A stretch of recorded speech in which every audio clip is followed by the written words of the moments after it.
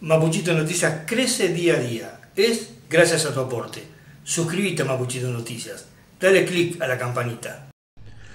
La información en Mapuchito Noticias nos lleva hasta la localidad de Strueder, ya que allí ocurrió un siniestro vial donde mm, en horas del mediodía, en el ingreso a la localidad de Strueder, un conductor perdió el control de su camioneta y terminó su marcha dentro de un monte.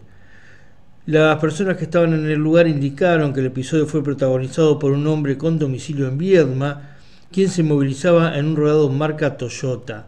Señalaron que el rodado transitaba por el acceso y al llegar a la calle Islas Malvinas, donde se dobla a la izquierda para acceder a la zona urbana, por causas que se tratan de establecer, siguió de largo y luego de recorrer varios metros por una calle de tierra, salió disparado hacia el sector conocido como el Monte de los Valtierra.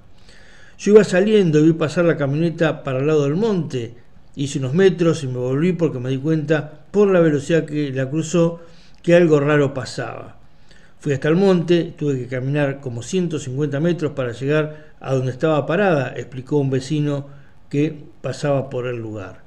También dijo que descendió del vehículo por sus propios medios la persona que conducía la camioneta y en principio no presentaba lesiones de consideración, aunque fue trasladado preventivamente al centro de salud Luis Urizar.